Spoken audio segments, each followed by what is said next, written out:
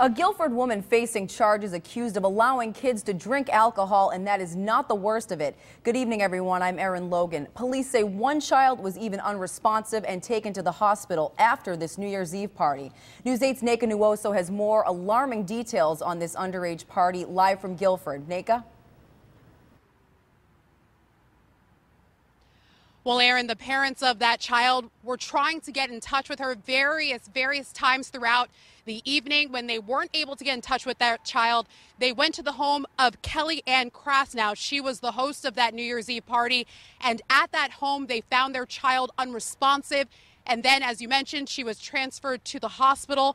Upon arrival, police also found various other teens in the home in different states of intoxication.